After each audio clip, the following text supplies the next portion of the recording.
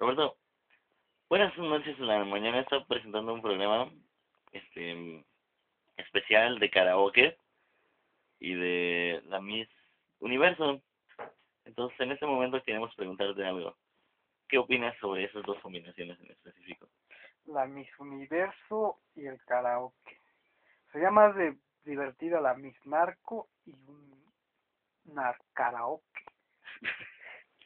Oye, ¿y New Karaoke? ¿Qué opinas de New Karaoke?